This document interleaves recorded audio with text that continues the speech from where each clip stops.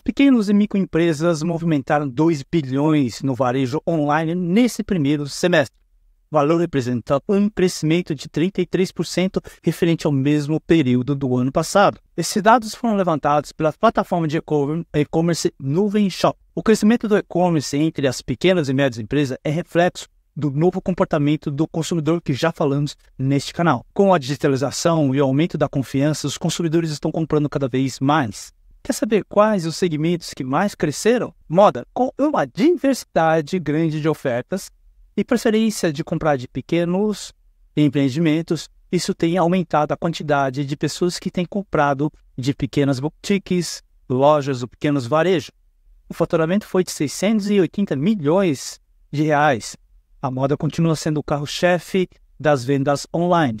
O segundo segmento é saúde e beleza, com a tendência de uma vida mais saudável e a valorização da aparência física, esse segmento, esse setor tem crescido muito. O consumo desses itens só tem aumentado. O setor acumula 187 milhões só no primeiro semestre em vendas online.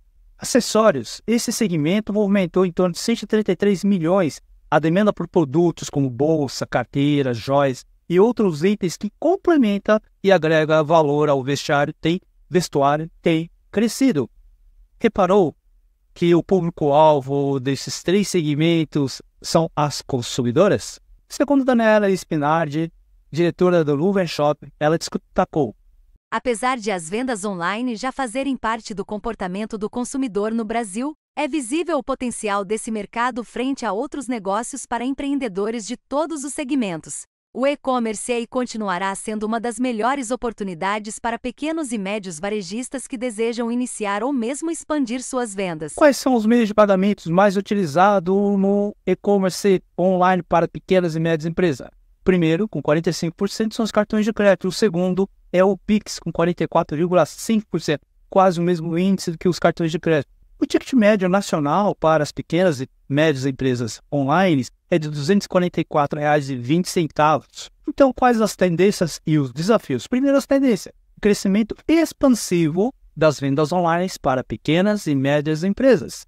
Aumento da confiança do consumidor, portanto, aumento das compras na internet. E maior conveniência e praticidade. É o que todo mundo quer. Muita gente faz pesquisa e verifica que aquele estabelecimento dentro do seu bairro tem o produto em oferta. Elas até vão no estabelecimento adquirir aquele produto porque ele quer de imediato. O grande desafio fica por conta das adaptações rápidas às mudanças do comportamento do consumidor. As pequenas e médias empresas não têm tempo ou não têm atenção ou foco nos clientes. Não perca mais tempo, comece hoje mesmo a providenciar a sua presença digital com site, com vendas. Você pode buscar essa solução em plataformas de e-commerce ou mesmo em marketplace. Desta forma, facilita a sua entrada dentro da internet. Depois é só sustentar as suas ofertas com redes sociais. Isso vai te ajudar. Bora digitalizar? Dá um joinha. Quando você dá um joinha, você ajuda a propagar esse conteúdo para mais pessoas. Compartilhe e ative o sininho. Até a próxima.